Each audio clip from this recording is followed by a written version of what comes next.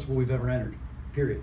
Mhm. So we were thrilled uh, to get uh, selected to come out, and then we got nominated for Action Film of the Year, uh, and uh, for uh, for Action On, and we got uh, one of our actresses, Sierra Marie, was nominated for Best Young Performer in a Okay, so feature. hold on. Let's pause there. Okay. Sure. Who received the phone call? Like Uh, for the my for wife. song? Okay. My wife and she. The initial uh, reaction. I had been working all night. Okay. So she comes running over. She basically uh, uh, left home, drove to the office because I had stayed at the office all night and was working.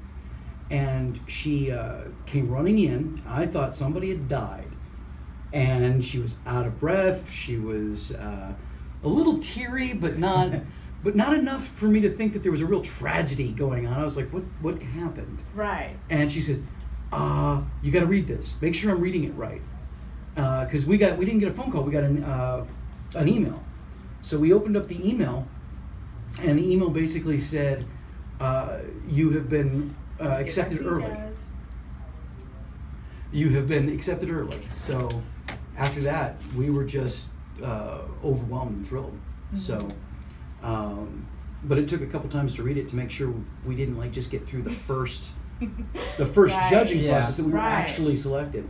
Um, and then uh, only about a was it a week ago or two weeks ago that we got the nominations in from the jury. Did it two weeks ago, I want to say? Yeah. Yeah. So two weeks ago we got the the the. Uh, they sent the um, information that we had been nominated for Mhm. Action Film of the Year, and uh, Sierra Marie was nominated for Best Young Performer. Yeah. So, Wow. and that was a bit of uh, shrieking as well. Yeah. Mhm. Yeah. That is so awesome.